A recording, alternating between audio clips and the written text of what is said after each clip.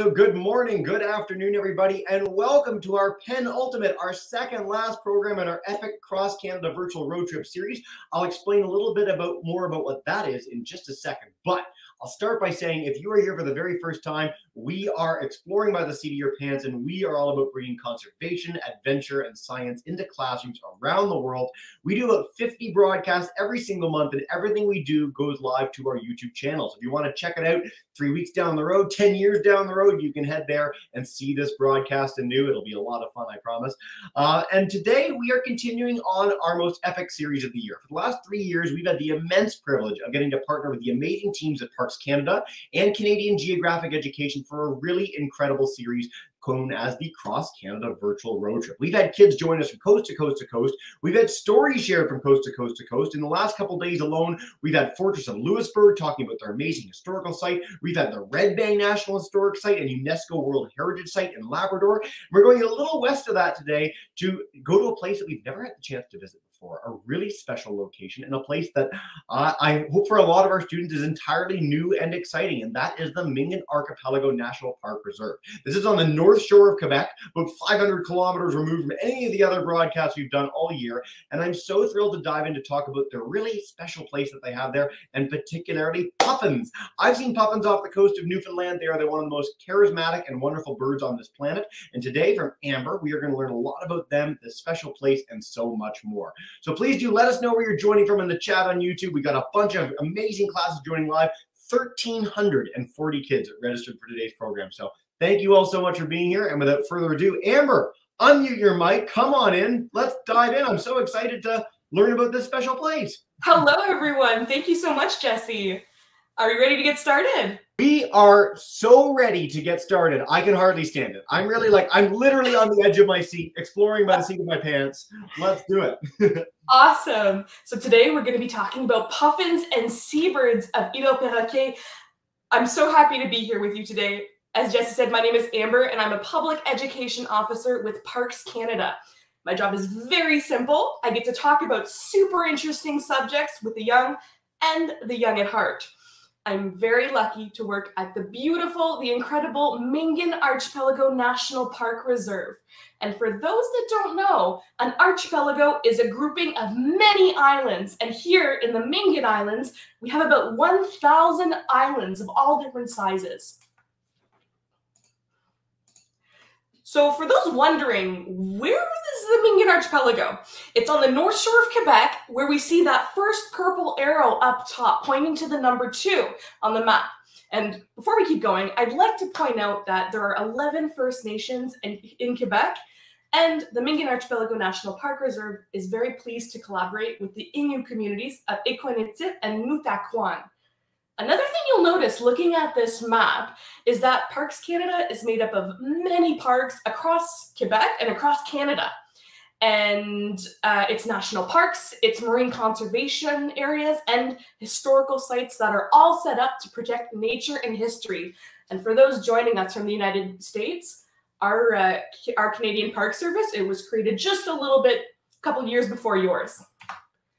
Today, we are going to venture to one of our islands in the park, Île Perroquet, to discover the fascinating lives of puffins and seabirds. So, my first question for you How many species of birds do you think there are in the entire world? You can go ahead and write in the chat. How many species of birds in the entire world? What do you think? And I'll say Maybe too, a little bit of time to so many- write in the chat how many species you think. Yes, we've got a bunch of uh, millions from Mrs. millions. Class. Yep. And then on YouTube, we've got Mr. Edwards, Miss Butts class, Miss Gale, the Irishenkov family, Miss Craig. We've got like 50 classes. It's very exciting. So it's Uh, not so millions, it's a little bit less than millions. A thousand from Mrs. Collins Cardinals. We're getting Yeah. a little bit closer. 10,000. Well, grade 3 5 Riverside, you have the right answer. It is 10,000 species of birds in the entire world. Now, my next question for you How many of those 10,000 species are marine birds? So we've got 10,000 in the entire world. How many of those 10,000 birds are considered marine birds? Amber, I'm going to give our YouTube. Right, 3,000. A little bit less than that. Let's see. YouTube class, if you guys want to chime in too, we'd love to hear from you. We got some great. 2,000. Got to keep going down. Let's see. 2000, a little lower than this. Keep going. Great answers, guys. You guys are like on the ball today. All right. Our answer is actually 305. So again, grades 3 5 Riverside, you're the closest, but we're still a little bit higher than the actual number. It's 305 marine birds in the entire world. Now, here at the Mingan Archipelago National Park Reserve, we're very lucky because of those 300 or so marine birds, we have 12 species that we can observe here at our park. We've got the double-crested cormorant, the common tern, black guillemot, the Atlantic puffin, which we're going to discuss a lot today, the black-legged kittiwake, the great blackback gull, the ring-billed gull, the herring gull, the razorbill, the Arctic tern, and the common eider. Now, let's talk about puffins. What is a puffin? We also call them uh, sea parrots here or sea clowns. Now, the puffin is a small bird that belongs to the Alcidae family. So that's a family that also includes razorbills and guillemots. They're black and white and they kind of look like they're wearing a tuxedo a lot of the time and they've got this big orange and black, very distinctive bill. And that's kind of why we call them sea parrots sometimes, because it looks like a, a, parrot's bill. They're about one foot tall, so they're very, very, they're pretty small birds. And they're going to weigh about 300 to 500 grams. So that's about the same weight as three oranges, between two and four oranges to be exact. But what is a seabird? So we just found out that we've got 10,000 birds in the world and we've got about 300 species of marine bird or seabird. Let's talk about what a seabird is. There's no one exact definition of a seabird. Generally, when we're discussing seabirds, they're a bird that spends the largest part of their lives at sea, or birds that live and eat from the sea, whether that be from the coast or in the middle of the ocean. No matter what definition you want to use, all marine birds have one thing in common. Once a year, they're going to need to come to shore to nest. And here in the Mingan Archipelago, that's when we're going to see the puffins. They're going to come onto Île Perroquet to nest and to lay their eggs. So, what are the other characteristics of a marine bird? Let's look at those together. The first thing here, this is our little icon that we're going to use. This is our little our little friend the puffin. And we're going to use him to discover the different adaptations that marine birds have to have. So, marine birds, they need to be able to drink water when they're out in the middle of the ocean, they need to be able to stay dry. Let's find out how they do that. The first thing that marine birds are going to have are webbed feet. Puffins need to know how to swim. It's really hard to swim with your socks on. Um, it's not a very good way to swim. So puffins, they have webbed feet like flippers that scuba divers will wear, and that's going to help them really easily swim in the water and be able to navigate well in the water as well. And if you see a puffin on dry land, it's very funny. They are they're very clumsy. They're not very delicate. They're much better suited uh, to moving in the water. Our next adaptation that our puffin and other marine birds have to have is a beak. Now, you might be thinking, well, don't all birds have beaks? Well, yes, they do. But marine birds and puffins, they're going to have a very special beak.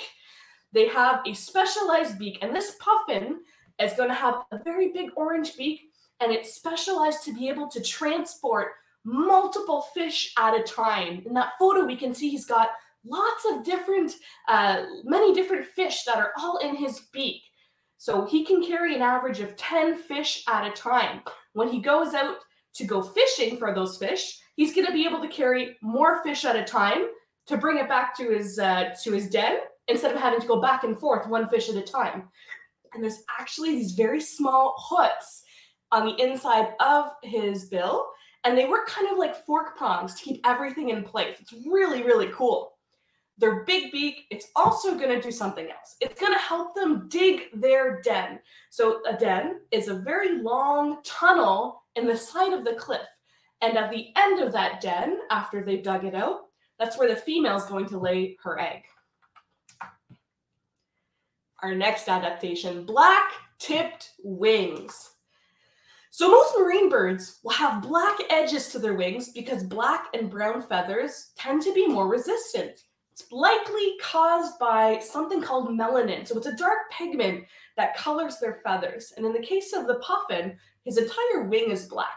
But you'll notice that in most marine birds, even seagulls, just the edge tends to be black, and it's so that it uh, gets used down a little less quick.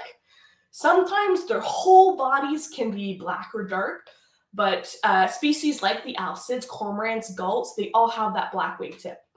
The wingtip needs to be more resistant because more often than not, it's going to be the first part of the wing that's touching or skimming the surface of the water. So having a tougher wingtip is definitely going to help them.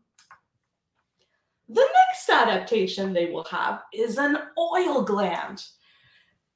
Their feathers have to be waterproof. They're spending most of their lives in the water. So puffins will have an oily secretion that comes from a gland on their back end.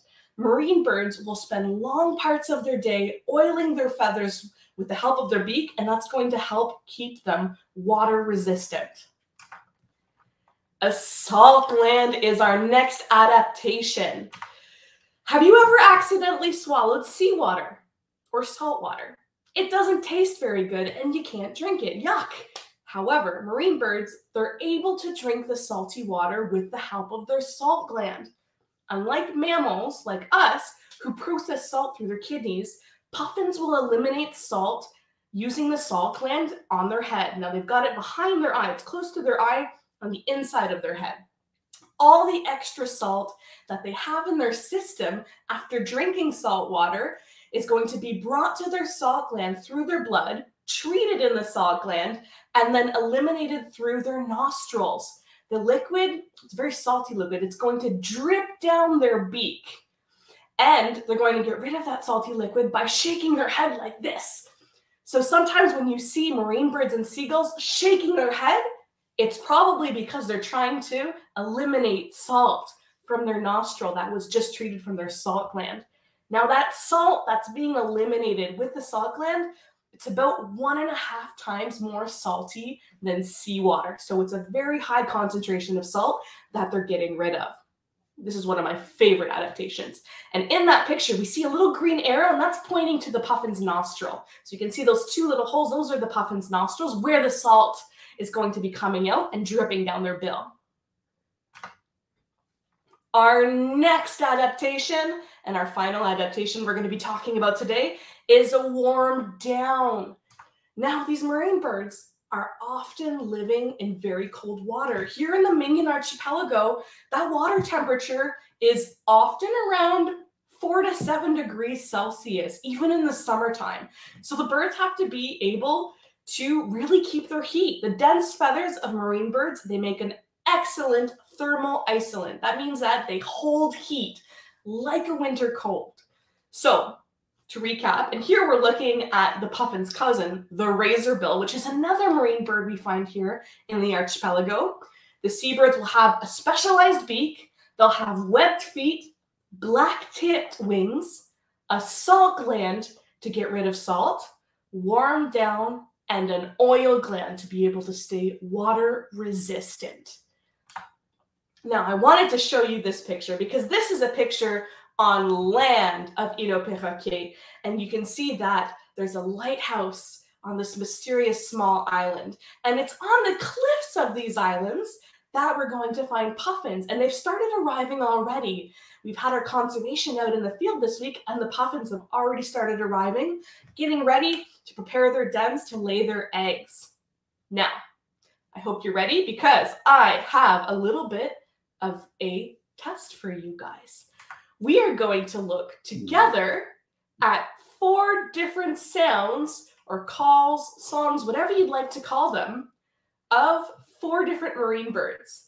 So, teachers, if you want to get out a little piece of paper or write down on the whiteboard, the whiteboard, excuse me, uh, you can write down these four species names the Atlantic puffin, the razorbill, black legged kittiwake, and the herring gull. One at a time, I'm going to play you a sound of a bird, and you're going to have to try and match it to what bird you think it belongs. Give you just a minute to set up. Yep. We're ready. We're ready, Amber. We're excited. All right. I hope everyone's ready.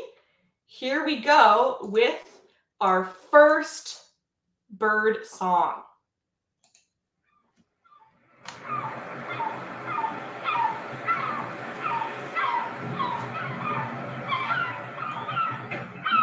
Nice.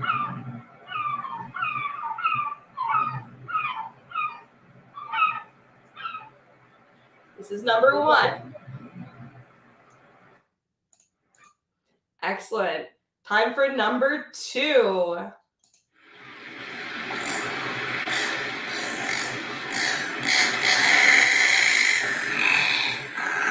That's a little different.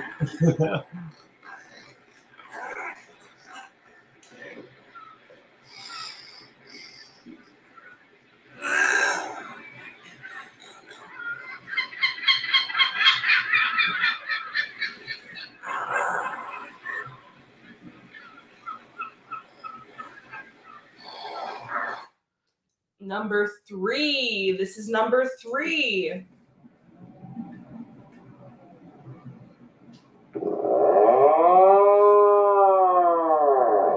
Nothing good. the terror bird. Uh, we're starting to get our first guesses on YouTube and StreamYard, which is fantastic. We got one more bird to come still.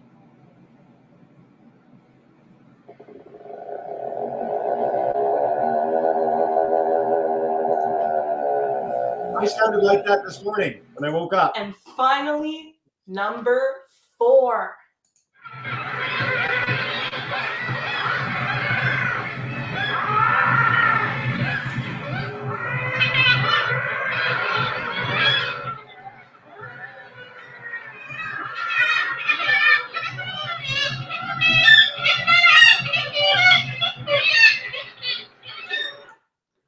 All right.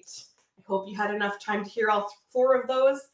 Is there anyone that you'd like me to repeat that we're not sure about? Go ahead and write in the chat if you'd like me to repeat one of them one, two, three, or four. Hmm. YouTubers, you can come on in with this too. Repeat number two, please. All right, let's repeat number two.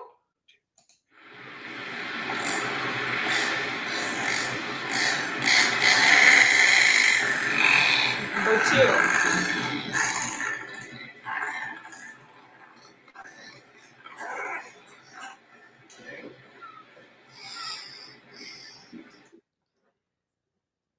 Right.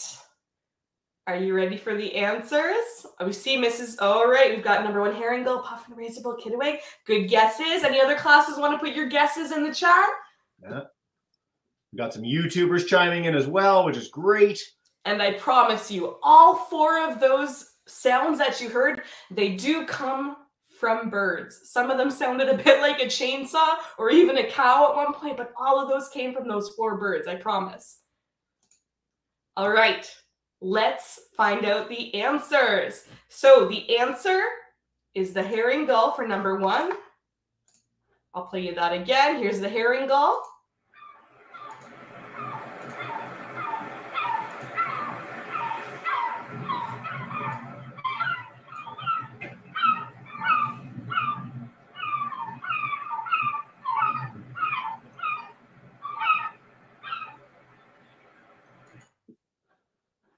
All right, that was our herring gull. Now these aren't these weren't completely in order. So number one was the herring gull. Number two actually was the razor bill. I mixed that one up by accident, but this is the razor bill.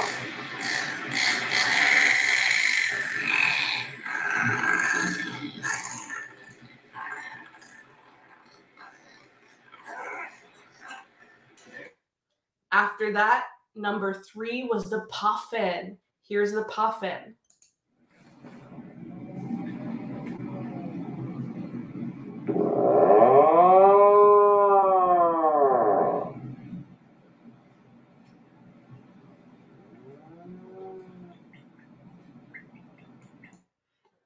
Finally, the black-legged kittiwake, he was number four.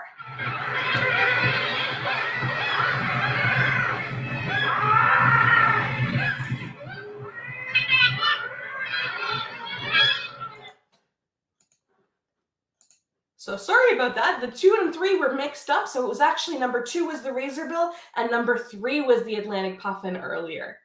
All right, let's keep going. The puffin sounds horrifying. He sounds really strange. I agree. The puffin sounds very funny and it's a very loud noise coming out of such a small bird. It sounds a lot like a cow and it always makes me laugh whenever I hear him.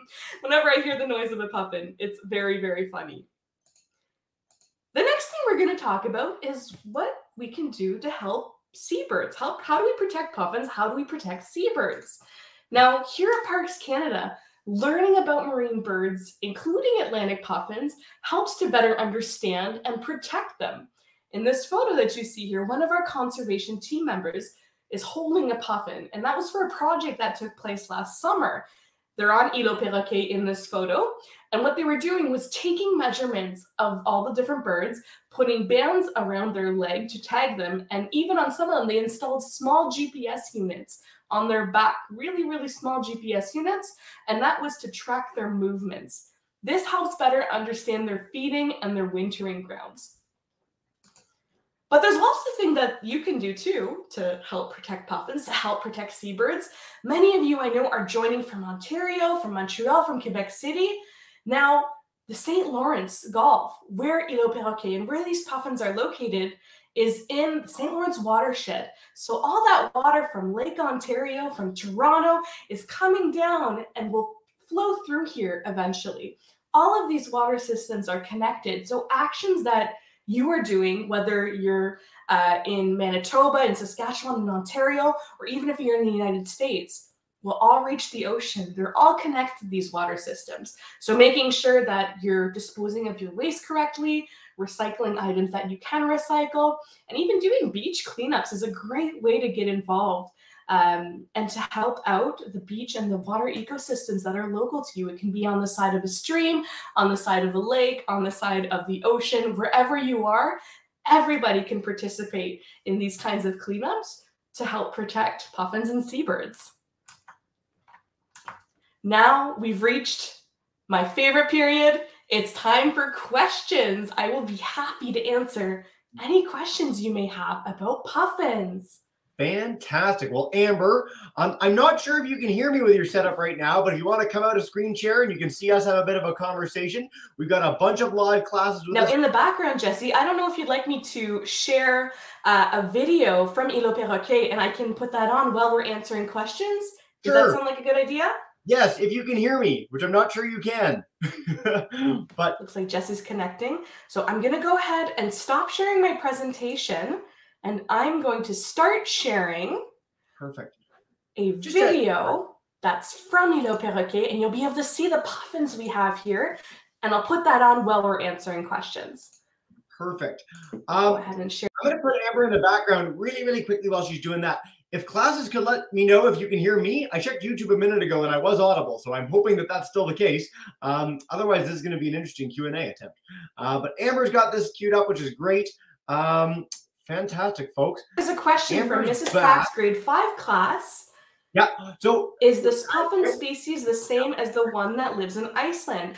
We believe they also have the Atlantic puffin as well. Excellent question. Yes, so it is the same species of bird that lives in Iceland. It is the same, but the birds that we have here that are coming to summer here are the same ones that are going to go in summer in Iceland. Okay. Amber, can you see me? oh, yeah, we want to we want to get it back audio wise. So here we have a view from the cliff bottom of Îlot Perroquet. You can see that just in the background there, we've got a uh, a lighthouse. And from this vantage point, you can see the puffins flying in and out of their dens, and you can see how small they are. Uh, let's see. I'm gonna try and just flag Amber so that she knows she we can't. Jesse, I, am not sure if you're trying to speak. It looks like you're. Yeah, you need to change up your audio. Oh, looks like I can't hear any of you. Oh, no. hang on a second. How do I change this? Maybe exit. Sorry about uh, that. That's okay. All good. Live classes, I'm coming to you guys momentarily. YouTubers, you've already shared like a gazillion questions, which is amazing. Change Um, your audio. Um, hmm. Uh, let's see. I'm gonna get Amber to exit screen share, and we're gonna see how this goes. Bear with us, folks. We have a little bit of leeway time. We got a really like a huge time for uh, Q and A, which is great. Exit screen share, Amber. Let's see. We're gonna get her to do that. I did note for our classes on YouTube as well, and for our StreamYard classes, we already have more questions than we can possibly answer in one broadcast. So be sure to keep the questions from your class, and we'll see if we can get them to Amber after the uh, the program's done and get all your questions answered. Um, StreamYard classes, I will come to you live, okay? You don't need to share in the chat, but it's going to be a little confusing to navigate if you're doing that. Uh, so we will come to you in just a sec if we get Amber back. I think she's just rejiggering it all. While we're waiting, I will note I've already put this in the YouTube chat and here. If you want to learn more about the Mingan Archipelago, so much more to discover than we could possibly do in one 22 minute broadcast. So do check that out when you're done. There's much more to see. You get the chance to go in person if you're in Ontario, Quebec, close by, New Brunswick. Um, be sure to. It's a really, really special part of the world that we've had the chance to see today. All right. Just waiting on Amber. Uh, sorry for the little tech hiccup. Uh, but we really appreciate all of you guys joining in today. We have had a few questions uh, on YouTube that I can field while we're waiting for Amber to come back. Notably, how many puffins are in the world? Millions. So a lot of the creatures we featured here at Exploring by the Seat of Your Pants and in this park series have been endangered or vulnerable in some fashion. Puffins are not among them, fortunately. So the uh, North Atlantic puffin colony population in Newfoundland, Quebec, Iceland, and more uh, is in the, the many millions of breeding pairs, which is fantastic. We've had questions about if they can vocalize like parrots. They cannot. There are only a few birds in the world that can actually make sounds that are, are sort of audible and, and talk like a person can. Uh, puffins are not among them. We're got Amber back now, in theory. Amber, welcome back. Hello, can you hear me? I can hear you fine. You can hear me? Yes. I can hear you. Cool. Okay. I think when you were screen sharing, it was just cutting off your audio. So as much as the video would be super cool, we'll get that to some classes later so that we can have a nice Q and A together. Okay. No problem. Sorry about that, everyone. um, I'm going to head to our Riverside crew first in New Brunswick. If you guys want to come on in and share a question live, uh, you're in the broadcast. Hey, three five. Hello. Hi. No. Hey guys. Okay, so Riverside, if you sit down and then uh, put up your hand if you do have a question, and I will come to you. Uh, Paisley, you've got a question? You ask it. You can look at them and ask it. I can't see. Hey Hazel. What's your question, Paisley? Look, hey, how can you how can you tell if it's a boy or a girl? Great question, Amber. Very good question. Now, from the outside, puffins that are girls and boys look almost identical. So you have to be really, really good at spotting the difference. And scientists will have to really look at them very closely to look at their anatomy to be able to tell if they're a boy or a girl. First question. Thanks, Hazel. We're gonna head to Mr. Shattuck's class in Chalk River, uh, six seven eight. Come on in, guys. Take our- Of Yeah, of course you remember. Of course. Um, obviously. Um, what are the puffins' prey? Ooh, what do they eat? What do they eat? What do they eat? Excellent question. Uh, they tend to eat what's available as far as small fish go. So here it's often sand lance and uh, other little types of uh, small schooling fish that we'll find here in the archipelago. And so in that picture that we saw in the presentation, the puffin had about six, seven sand lance in its beak. So it's typically very small schooling fish. This sounds ridiculous, but I only saw a puffin picture without the fish when I was like 22. Like every picture shared of puffins for years has these fish, and I was like, "What is that weird structure in their face?" And it's like, it's not. It's what they're eating. Uh, guys, Miss Lou's class, Milton, come on in, grade fours, and take us away. Nice to see you again. hey. No, wait, okay, wait. Okay, wait, I have a question. Okay. um, if a bird, if a bird has a baby, can the baby ha- have a different, what's it called again? Species of bird than the father and the mon- mother? So can a can two puffins have a baby that isn't a puffin? I can feel this one. No. You got that right, Jesse. Easy. Yes. So, I mean, one of the ways that we can actually distinguish species in the world is that they do have young that are the same. Sometimes two different species can breed and make a hybrid. We have that with mules, which is a donkey and a horse mixing together, or a tiger and a lion can make a liger. But with two adult puffins, it would be really freaky. It would change all of biology forever. Millions of scientists would be out of work like that if that could happen. So I'm glad we aren't in a world that's so crazy without rules. Um, Miss Pratchett's class, grade fives, come on in, guys. Unmute your mic. Hello, can you? Yeah. Hi there. Okay, we have some questions. We have a question. Um, yeah, we have a question. Okay, just wait. Isha's gonna come to the camera. Hey, Misha. Uh, bad. Sit down. Yep, you're good. Look at the camera. There you go. Now he's here. There we go. Hey. Right to the camera. Yeah. okay, just tell you. When were puffins first discovered? Ooh, when did we find our first Ooh, puppet? That's a good question. I don't know the answer to that. I'll have to look that up. Well, we can go. You know what? There actually is a, an answer you can sort of come to from this because puffins are in the North Atlantic. So we've got islands that exist with puffins. People start getting to about 20,000 years ago. So there, there's a, a vague date, but it's not in the historical record. Scientifically described sometime in the 15, 1600s when we're going out and actually sort of cataloging birds for the first time. I always like when we get questions like this. Very cool. Miss Collins' class, come on in, Get Cardinals, and take us away. Hey, guys. What are puffins' main prey? Ooh, oh yes, main prey. And then I'm going to uh, change this too. So we talked about the prey a little bit. If they have got a favorite one, Amber, tell us. And then does anything eat the puffin as well? So the main prey here is probably the Atlantic sand lance. That's probably the main prey that they're eating here. And as far as prey goes, unfortunately, there are uh, some other birds that will come in and try and eat typically baby puffins. Baby puffins are a lot easier to catch than the adults. And so we've got like the great black backbone. They're pretty predatory, so they might try and eat some baby puffins from time to time. Great. We've got um uh, Burlington class four fives. If you want to unmute your mic, I can come to you, Miss Baltica's class. Uh, just let me know if you want a question, and I'll just turn that on and I'll come to you. We've got a bevy of YouTube classes. In fact, Amber, I may have thrown you under the bus and said that you might be willing to answer questions after the fact, but we've already got like sixty questions on YouTube. Oh my goodness! Wow. We're going to take as many as we can over the next few and then I'll do a second round with all our live groups. Uh, Miss, uh, let's see. Oh, good one for you. Miss Romaniak's class wants to know why are puffins called puffins? Do we have an answer for this? I don't have a good answer for that. Pu- why are puffins called puffins? I don't know why they have the name puffins, but here in the Mingan Archipelago, um, there's not very much English that's spoken. It's mostly French. In French, puffin is macareux moine or calculot, perroquet de mer. And perroquet de mer loosely translates to sea parrot. Why do we call them sea parrots? Well, it's because of that big orange beak that looks like a parrot. So I can tell you a little bit why we call them that here on the North Shore of Quebec. Very, very cool.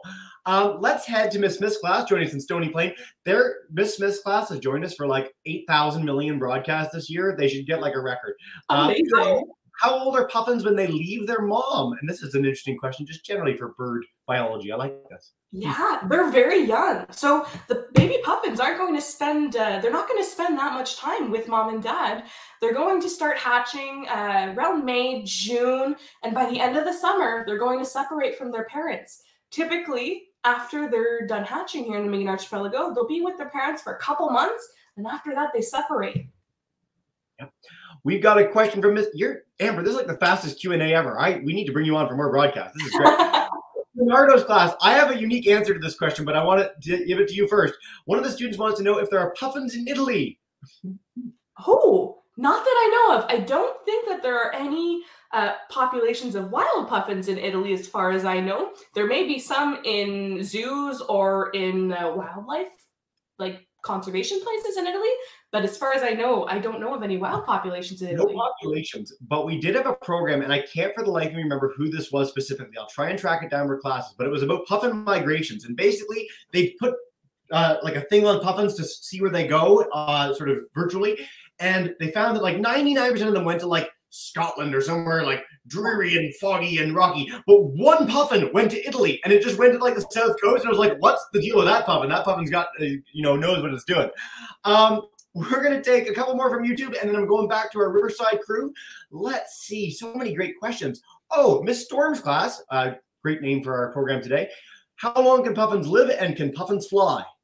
Great question. So puffins will live about 20 years, and the oldest known recorded puffin was 36 years old. So that was a very old puffin, but the average is about 20 years. Now, can they fly? Yes, they can fly. And I always laugh when I see them flying. Um, they tend to like the cliffs here at Île Perroquet, and possibly because they have an easier time starting getting off the ground because they can kind of just jump off and they're already in the air. And they kind of look like little flying footballs. Their wings flap really, really, really fast. They're very comical to watch fly. They are. I've had the chance to see a puffin colony with about 100,000 off the coast of Newfoundland, and they're just such a special bird to see that many birds around you. There's not many other circumstances in Canada or the world where you get that chance. So I hope our students get the chance to see your puffin someday at the Mingan Archipelago. Um, we're heading back to our live classes. I will take some more from our YouTube friends, but we are whipping through these. Three fives, Riverside, come on back in. Hey. Hello. Um, what happens if a puffin gets stranded in the ocean Gets tired. or tired.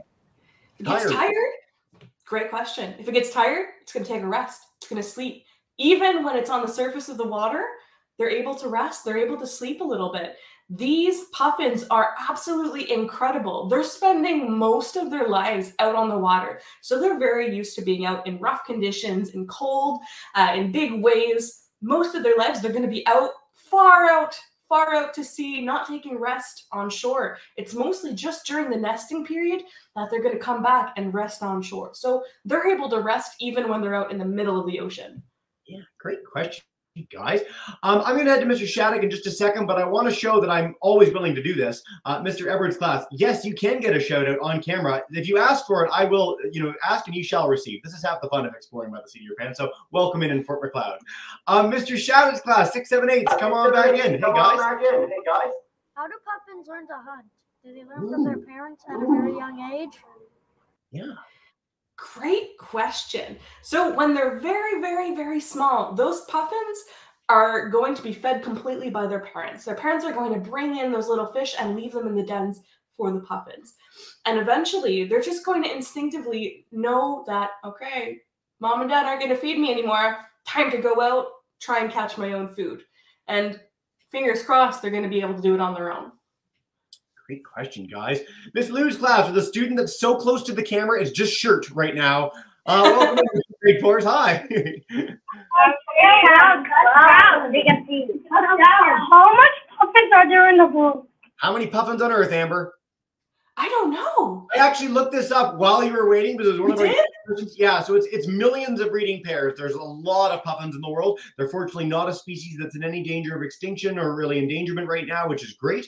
Um, as long as we make sure that their homes survive. And that's the nice thing with puffins. Habitat loss is the biggest cause of animal endangerment. And a lot of the places that puffins live aren't really places that people want to live. They're not places that we can farm. And so because of that, they haven't been under near as much threat as some of the more mainland species that we use for any number of industrialization or farming or more. So I'm, I'm really glad we got that question. Miss Pratchett's class, I'm coming to you, uh, and then I'm going to take a couple more from YouTube, and I'll wrap up with one class at random after that. Uh, Miss Pratchett, welcome into Winnipeg. Hey, Hi there. We have another question. Um, why do puffins look like penguins? great. Why do they look like penguins? That's a really good question. It's kind of like why do two dog species look alike? Now, probably very, very far back in the evolutionary chain, we see that these characteristics were advantageous for multiple species of birds, having maybe those colorations and puffins actually. They are very, very closely related to another species of, of birds here in the Mingan Archipelago that we call pingouins or little penguins. Those are our razor bills. And those initially were found before the true penguins. So those penguins down in Antarctica, they were found afterwards than the Pitts penguin that we have here on the North Shore. Convergent evolution. So this is something that you talked about. We actually get this variation of this question a lot. Species will tend to look like other species in completely different parts of the globe that share a same ecological niche. So if you're doing the same thing, if you're hunting for fish under the water, if you need to catch things on the wing, you'll develop a body shape and sometimes even the coloration looks like something. For what it's worth, though, some penguins are as tall as you guys are in grade four or five. So very different than our puffins, which are about this big. There are penguins that are like four and a half feet tall and 70, 80 pounds. Uh, that's a very different kind of bird entirely. Uh, a few more minutes before we wrap up. I'm going to take a few from YouTube, and then I'm going to go to Mr. Shattuck's class for our last question. Uh, let's see. Mr. Cohen's class, Edmonton. Uh, we've got, oh, they've had a bunch of questions. We've covered that one. Oh, I wanted to come to you guys. Let's see. Oh, we got a, everyone wants to know about the lifespan of puffins. There's so many questions on lifespan. I like this. Our homeschooler Rishenkoff family wants to know how big are their eggs and do they mate for life? I love those two questions. Unfortunately, I don't have an egg here with me, but they're just slightly bigger than a chicken egg. They're about that big and they're very similar in color to kind of the standard grocery store chicken egg.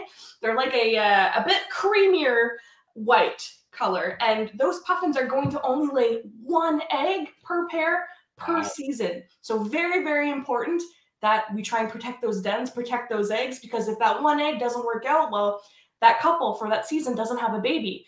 And right. yes they do mate for life. So the pairs of puffins we have here, and most populations of puffins actually, they do tend to stick together. And here in the Mingan Archipelago, they tend to come even back to the same den that they used. Very cool. That's actually interesting. As a with a biology background, a lot of marine birds do mate for life. Penguins do, albatross do. Um, I don't know if that's a universal thing, but that's a really interesting fact, I guess, given their life histories. I'd be curious what the science is behind that. Uh, Addison in Miss Higgins' class wants to know, does climate change have an impact on what the birds eat? And then after this, we will go to Mr. Shattuck for the final question. If anyone has more questions, email them to us or I'll pass along Amber's email if she's willing and you can inundate her with all these questions after we're done. But climate change. Absolutely. And that's a great question, Addison. Does climate change affect what puffins are eating? Now, indirectly indirectly yes because depending on the conditions every year in the gulf of st lawrence depending on the temperature um, on all kinds of different factors fish species may have better uh, population sizes. They may come at a different time of the year. So depending on what's available for them to eat and how much of it's available for them to eat the puffins are going to have to figure out how they're going to feed that year. So based on these trends the puffins are going to have to adapt as to what and when they're eating these different species. It's a pretty safe answer uh, in universal biology. No matter where you're going, no matter what species you're talking about, climate change is having an impact. It really is changing the, the habitats, the distributions, the predator prey interactions everywhere on planet Earth, um, and in a huge way with people as well. Like we're, we're this is the the defining issue of our time, uh, and it's uh, I'm really glad when we get questions on climate change. So thanks, guys. Uh, Mr. Shattuck's class, one final question to wrap up, and I will note again, if you guys want to learn more about this amazing place, I have so many banners on my screen. The Mingan Archipelago National Park uh, Reserve uh, website is here. Check that out. We've only got one more program in our Cross Canada virtual road trip. It's very bittersweet, and that is on uh, tomorrow, actually, the 19th at 11. Visit the Green Gables. Check that out. Yeah, wherever, wherever we're pointing on the screen. I really encourage you to check that out as well. Mr. Shattuck's class, wrap us up. Hey guys. Hey guys. Um, what inspired you to work with puffins? Yes. Your personal story, Amber. Why are you here? I'm here because I love puffins and I love sharing everything about puffins. I'm, I'm so glad, we've had a bunch of classes ask about how people end up with these careers. And I want to note, like, as someone who's had the chance to work with so many amazing park staff, not just this year, but over the last years, you will never meet a more enthusiastic group of people than Parks Canada employees. You guys are like, live and breathe the stuff that you have the chance to share. You're so enthusiastic, you're so knowledgeable. Um, so thank you, Amber, for this amazing presentation today and uh, for sharing this passion because it's been so much fun hanging out with you. Thank you, Jesse, and thank you to everyone who joined today. Uh, it was so wonderful to be able to share a little bit about marine birds and to share about puffins. Hopefully, one day you'll be able to come and visit us on the North Shore here at the Mingan Archipelago National Park Reserve. I can just like jump out of the the harbor in Corner Brook here and like swim across to you. I might uh, do that when we're done. A little dangerous swim. I will note for our classes too, our third partner in this amazing series is Canadian Geographic. They've got an amazing competition. So you guys can just highlight what you learned today and have the chance to win some really, really cool prizes when you're done. I'll make sure all our registered classes have that link when you're done, but please do submit. We'd love to have you take part. Uh, Amber, what we do to wrap up every broadcast, I'm going to bring in our classes to say a big thank you and farewell. So our Riverside crew, Mr. Shattuck's class, Mr. Thank you, everybody.